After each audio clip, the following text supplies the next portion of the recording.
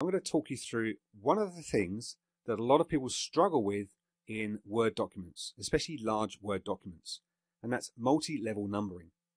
Now, simple numbering is easy. You just select what you want to number, go to your number icon here and choose a 1, 2, 3 or an ABC or a Roman numerals style system. That's for an ordered list. If you have an unordered list, you can then use the bullet icon here and just do a simple bullet style system. But how do you create something like this where you have, say, a section 1, a section 1.1, a section 1.1.1, and so on all the way through? How do you do that? A lot of people struggle with that in terms of how to create it, how to control it, and how to format it. And that's what I'm going to talk you through in this video. We're going to build up a system from scratch to show you how it all works. Now over here, I have a list. It's just ordinary text at this stage, no numbers in place, no numbering systems set up yet. So the first thing we do is just select the whole text, go to the multi-level number icon, and there's a number of presets you can use straight away if you wanted to, but I'm going to take you through the whole process of building this from scratch. So I'm going to come down to the bottom to where it says define new multi-level list. This dialog box here is where everything is controlled. Now first of all up the top left you have a box which has levels 1 through to 9. Even though it has 9 levels, most people don't get anywhere near 9. Most people will stick with 2, 3, possibly 4 at the most. In legal circles, sometimes with legal documentation, it does go a little bit further, maybe 5 or 6 levels, but that's probably the extreme. Today, I'm going to take you through the first three levels to show you how that's set up.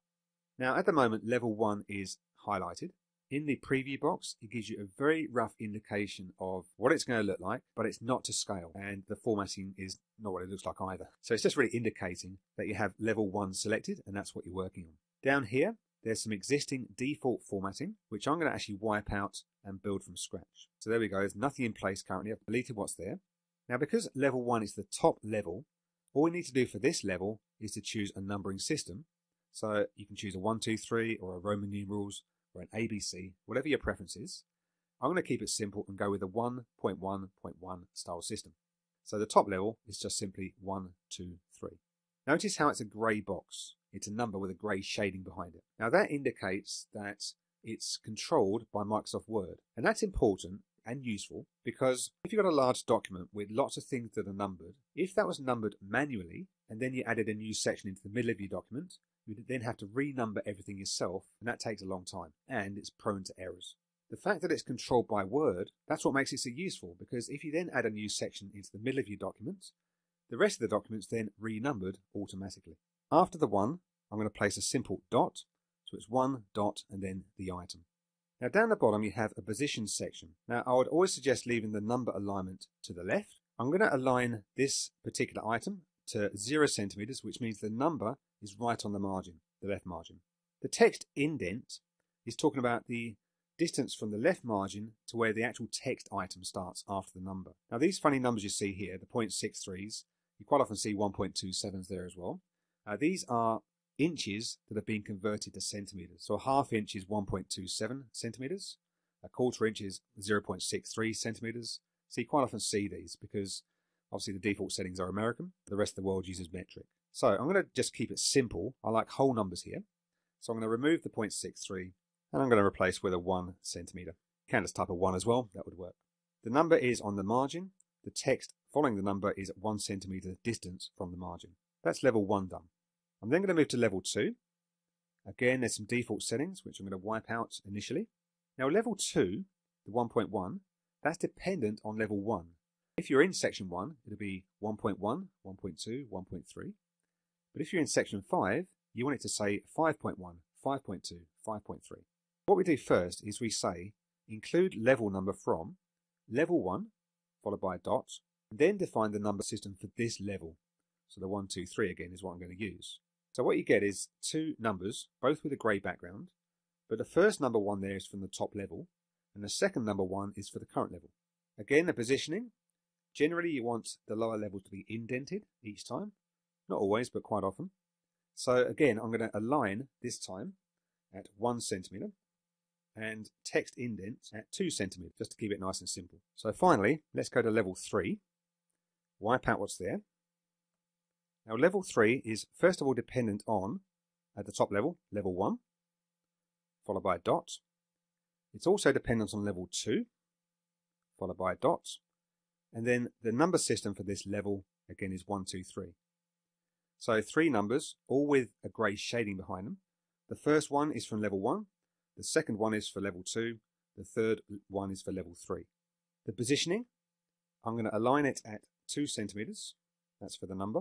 Now this time, rather than going to 3 centimeters, I'm actually going to make it 3.5 centimeters, simply because by this level, when you've got three numbers in place, especially with bigger numbers, you might be in, say, section 10.15.13. The width of those numbers actually goes beyond a centimetre. So I've just extended the width to allow for that. So it's a 1.5 centimetre gap. Okay, we're all done here.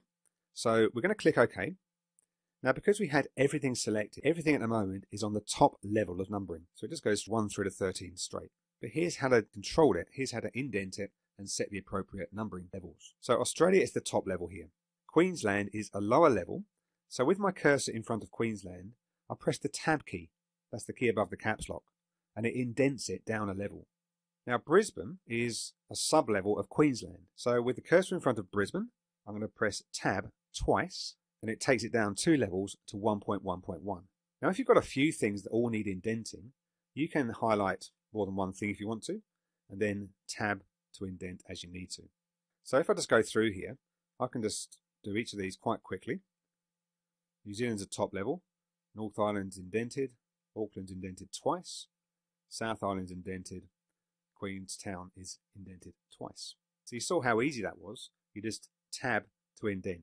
Now, if you make a mistake, so New Zealand's actually the top level, but let's say I indent it by mistake. See how the numbering is all changed to accommodate that? If I need to promote an item, as in take it back a level, you do Shift and Tab. And that brings it back to level 1 or whatever level's the next one up.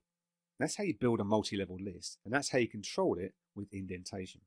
Now there is one stage further you can take it, and that is to link your numbering system with your styles, the styles being the stuff at the top here. So what I'm going to do is to reselect everything. I'm going to go to the multi-level number button. Down the bottom, choose Define New Multi-Level List. This will bring up all your current settings. Now there's one extra button here which we didn't touch before called More. And when you click that, it extends it sideways, so you get some more options down the side here. We're on level one. All I need to do over here is to link that level to a style. So I'm going to actually link it to heading one. On level two, I'm going to link that to heading two. On level three, link it to heading three. Now in the preview here, you can see how it's attached the heading style to the actual number style. Click OK, and it's now applied the styles to the numbering system. Now what that means is that if I say come down here and I maybe put another state in, be Victoria, and then we'll have Melbourne and say Phillip Island as extra options. Now if I just place my cursor in Victoria there, now Victoria is a lower level, it's the same level as Queensland or New South Wales. So I'm going to, actually, actually I've just noticed a mistake there was Sydney Newcastle. So let's just fix those two up. Those two should actually be heading threes. But see how that indented straight away. Victoria is a heading two. Melbourne and Phillip Island, they're heading threes. So in the same way, you use your heading one, heading two, heading three styles in your document normally, normally just for styling, you can actually attach it to your numbering system uh, for that specific reason. Because normally your headings tie in with your, your numbered sections. The numbering will only apply when a paragraph has been styled with heading 1, heading 2 or heading 3. If you need to add some body text under a particular numbered section, which is normally what you want to do, then just press enter to put some text underneath the section, paste in your text or type it in.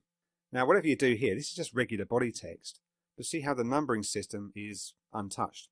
It just continues on as it normally does. So you could do anything, place body text under any section you like, and the numbering system isn't affected. So that's a very quick run through of multi-level numbered lists and how you can attach them to heading styles. And I hope that simplified things for you. A lot of people struggle with this. If you're one of those people, I hope that's uh, demystified it for you a little bit. If you found this video useful, I'd always appreciate a like, any comments you want to post underneath or questions underneath. Uh, I'll receive all of those and I'll get back to you uh, with some answers. But hopefully the video's cleared up most of your questions.